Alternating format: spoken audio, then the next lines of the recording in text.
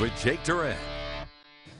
The boys' high school tennis season wrapped up today with the UP Finals at Negaunee High School. Due to multiple rain delays, the event itself took almost all day, but it was worth the wait.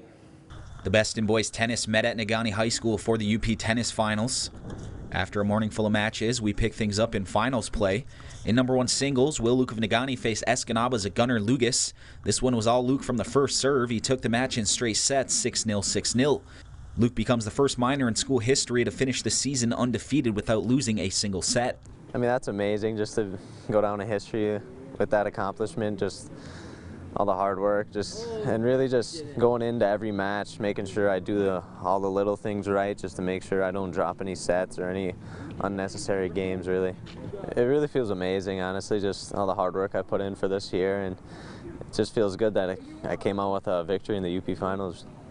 Number one doubles featured Escanaba's Ryan Moreau and Victor Pospice against Negaunee's Nick Jacobetti and Preston Toutant. The first set would go to a tiebreak with the Eskimos winning 7-6. Second set, Escanaba settled in. They took set 2, 6-2, winning the match in straight sets. I mean, we had like three chances because it was uh, 40 love for us. Yeah. And we screwed up the first two balls, so it was kind of like, I was kind of down, but then we, we choose, we, we changed the last point and yeah, it was just like well, a lot of emotions, I would say. Yeah. Uh, it was 2-2, like uh, like match play. Like we won two, they won two, like previously this season, and it was nice to take that final win. Definitely in UP's at their court, felt really good. Here are your individual winners.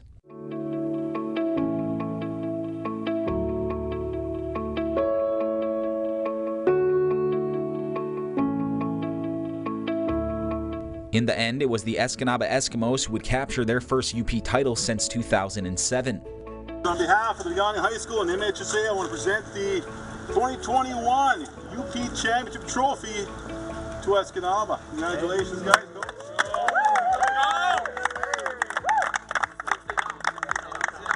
I can't put it into words. It's uh, it's amazing. Yeah, I want to thank God who gave me the talent to get these guys together and the talent that they have. It's been 2007 since we won this. It's been a long time. And I'm just proud of these guys. They worked hard.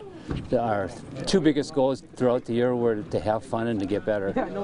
Normally, in past years, Negaunee was always the team to beat.